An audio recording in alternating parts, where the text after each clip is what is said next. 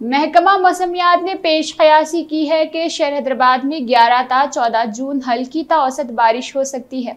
इसके अलावा उन आयाम में दर्ज हरारत में भी कमी आ सकती है और वो 36 डिग्री सेल्सियस के आसपास रिकॉर्ड हो सकता है। महकमा ने कहा कि हैदराबाद के अलावा रियासत के दूसरे अजला में भी आइंदा चंद दिनों में बारिश हो सकती है। आज़म तरीन दर्ज हरारत तकरीबन तमाम अजला में कम होगा और छत्तीस डिग्री के आसपास ही दर्ज होगा। जनूब मगरबी मानसून की तेलंगाना में आमद में ताखिर ताखिर होती है क्योंकि समंदरी हवाओं की रफ्तार में कमी आई है। ताहम उम्मीद है कि 12 जून तक जनूब मगरबी मानसून तेलंगाना में दाखिल हो जाएगा।